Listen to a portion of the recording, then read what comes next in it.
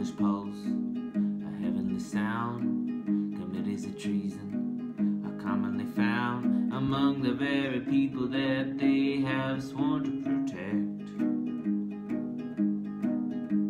The only question is what will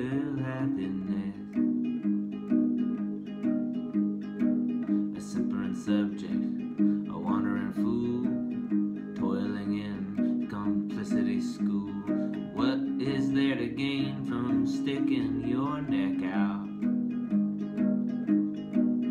Keep your nose clean and keep your head down.